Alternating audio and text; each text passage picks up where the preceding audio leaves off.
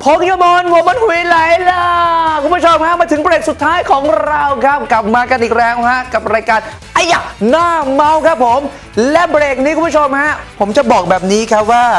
เราคงจะต้องอ้างอิงถึงความรักของแม่นะฮะที่มีต่อลูกครับ ว่าง่ายๆ ทั้งหมดทั้งมวลนะฮะตั้งแต่ลูกเกิดมาครับ ลูกนี่คือทุกสิ่งทุกอย่างของแม่นั่นเองครับ และเหมือนกับคลิปคลิปนี้นะฮะเกิดขึ้นที่ต่างประเทศเช่นเดียวกันครับ เมื่อคุณแม่ท่านหนึ่งนะฮะ ต้องสูญเสียลูกชายของเธอไปด้วยวัยเพียงแค่ 5 ขวบครับ เด็กชายคนนี้นะฮะเขาชื่อว่าแบรเดนครับ น้องแบรเดนคนนี้นะฮะเขาป่วยเป็นโรคเนื้องอกในสมองครับ สุดท้ายน้องไม่สามารถที่จะทนอาการเหล่านี้ได้ และก็เสียชีวิตไปในที่สุดครับ แต่สิ่งสุดท้ายครับที่คุณแม่ของน้องเบรเดนที่จะทำให้กับน้องได้ครับ เพราะว่าน้องเบรเดนนี่นะฮะจะชื่นชอบมากครับกับเหล่าซูเปอร์ฮีโร่ครับ เพราะฉะนั้นครับ คนที่จะมาแบกโลงศพของน้อง จะต้องเป็นซูเปอร์ฮีโร่เท่านั้นครับ และแน่นอนฮะคุณแม่ไม่ได้ไปจ้างใครที่ไหนนะฮะไม่ได้จ้างซูเปอร์ฮีโร่ของจริงมานะครับ แต่คุณแม่ครับขอความช่วยเหลือครับ ทั้งคุณลุงคุณพี่คุณนู้นคนนี้มาช่วยกันแต่งกายครับ แต่งกายให้เป็นซูเปอร์ฮีโร่ครับเพื่อที่จะให้น้องเนี่ยนะฮะเหมือนกับว่าเขาได้เข้าใกล้กับซูเปอร์ฮีโร่ครับและนั่นแหละครับคือความรักของแม่ฮะ เราจะไปดูภาพบรรยากาศนะครับของงานศพในครั้งนี้กัน ที่มีเหล่าซูเปอร์ฮีโร่มาร่วมงานมากที่สุดในโลก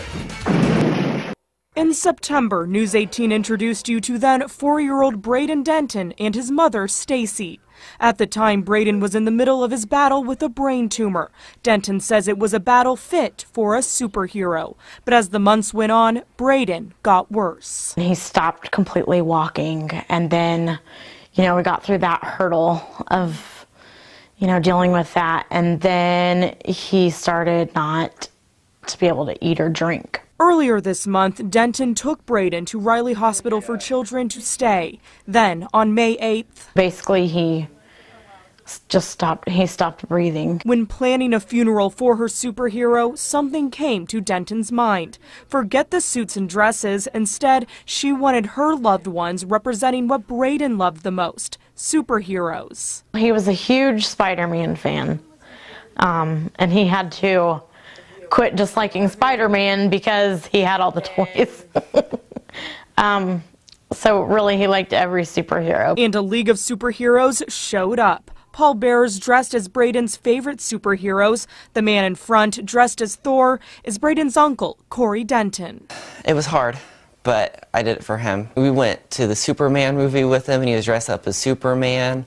I watch all the Iron Mans with them. The picture of the Denton superhero being carried by his superhero friends has had hundreds of shares on Facebook. It may have been an unconventional funeral, but That's what Braden would have wanted. Corey says even if Braden is not with him in the flesh, he will always be his number one movie buddy. He's always here with me, and I'll always watch them with him because he's always with me. Denton donated her son's tumor to research. She is also working with Senator Ron Alting to get Indiana to recognize September as National Childhood Cancer Awareness Month. Kelly Roberts, News 18.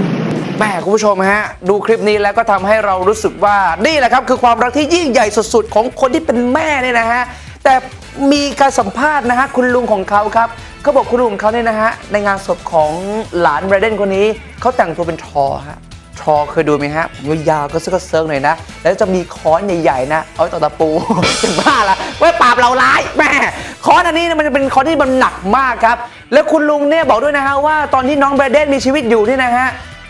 คุณน้องแบรเดนเนี่ยชอบฮีโร่มากจนกระทั่งคุณลุงคนนี้ฮะถึงขั้นต้องแต่งตัวเป็นซูเปอร์แมนครับแล้วก็ไปดูหนังเรื่องซูเปอร์แมนกับน้องแบรเดนคนนี้ด้วย ซึ่งมันก็เป็นเรื่องของการที่แบบว่าแหม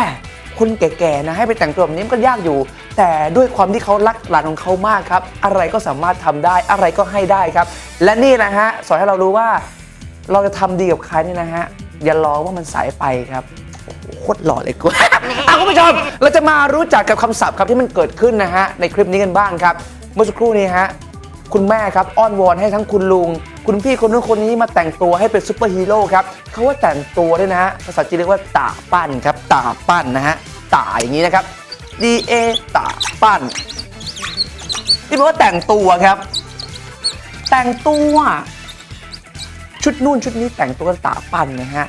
และอีกหนึ่งงานครับผมเชื่อว่าเป็นงานที่หลายๆคนหลายบ้านเนี่ยไม่ค่อยอยากจะจัดกันเลยถ้าเป็นไปได้บนโลกนี้ ถ้าเกิดงานนี้ไม่มีทุกคนจะอายุยืนมาก แล้วทุกคนจะไม่ต้องมีการร้องห่มร้องไห้ กับงานศพแน่นอนคุณผู้ชมฮะเขาว่างานศพเนี่ยนะครับภาษาจีนเรียกว่าจ้างหลี จ้างหลีนะฮะ Z A N G จ้างหลี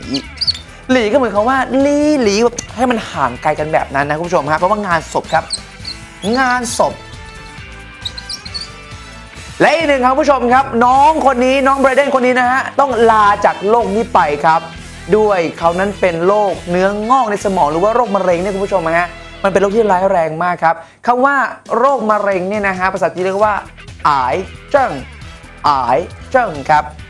A I อายเจิ้งอายเจิ้งแต่ว่ามะเร็ง แต่ยังไม่ยิงแอบมะเร็งคุณผู้ชมฮะแต่อีกหนึ่งทางครับที่เราจะสามารถช่วยให้โรคเหล่านี้นะฮะไม่เกิดกับตัวคุณได้ครับ หันมาใส่ใจตัวคุณ แล้วก็หันมาใส่ใจคนรอบข้างของคุณจะดีที่สุดครับ ผมรับประกันว่าร่างกายแข็งแรง คุณผู้ชมครับมาถึงคลิปนี้กันบ้างนะฮะเรากำลังเกาะติดสถานการณ์บ้านเมืองของเราอยู่ในปัจจุบันนี้ครับที่ต้องบอกว่า 9 ปีที่ผ่านมานี้มันเกิดความวุ่นวายกันเยอะเหลือเกินฮะสังคมไทยของเรา แบ่งออกเป็นฝั่งนู้นฝั่งนี้สุดท้ายครับ ก็จะมีจบลงด้วยแบบไหน เราก็ต้องดูกันต่อไปครับ แต่ เรื่องของความคิดความอ่านแต่ละคนเนี่ยคงจะไม่เหมือนกัน แล้วก็เหมือนกับหนุ่มคนนี้ครับหนุ่มตลกคนนี้ฮะอย่างโกเตอารามบอยครับซึ่งก่อนหน้านี้นะฮะที่ทหารนั้นออกมาทำรัฐประหารเนี่ยนะฮะหนุ่มโกติเขาก็ออกมาพูดในเชิงที่แบบว่าโอ้โหทหารเนี่ยดีนะครับออกมาอย่างนี้อย่างงู้นอย่างนี้ แต่คราวนี้ครับคนที่เห็นต่างด้วย แล้วก็ไป Follow ทางด้านของ Facebook หรือ Instagram ต่างๆ ก็ต่างออกมา มีทั้งสองแง่สองง่ามครับ ทางบวกก็ดี ทางลบก็มีเหมือนกันครับ แต่คราวนี้คนที่บอกว่า โอ้โหเอโกตีเนี่ยนะฮะ มาสร้างกระแสหรือเปล่า มาเฟกมาเมคมาทำให้ตัวเองดูดีขึ้นหรือเปล่าครับ หลังจากนั้นโกตีก็ออกมาบอกว่าว้าเห็นแบบนี้แล้วเนี่ยนะฮะ จะบอกว่าเฟกอะไรก็แล้วแต่งั้นก็ไม่ต้องตาม เรื่องแบบนี้จะเห็นคนไทยฆ่ากันเองได้อย่างไรกันเล่านะฮะ เอาเป็นว่าผมพูดไปเนี่ย เดี๋ยวจะไม่เข้าใจกัน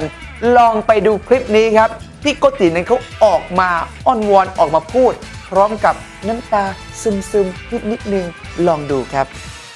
หนูเรียนมาน้อยจริงๆหนูอาจจะไม่รู้หรอกว่าตื้นลึกหนาบางเป็นยังไงทหารออกมาใครได้รับผลประโยชน์ ใครเสียผลประโยชน์หนูไม่รู้ แต่หนูพูดในสิ่งที่หนูเห็น คือหนูรู้สึกว่า เอ้ยทหารก็ต้องเหน็ดเหนื่อยนะเอาตรงๆนะ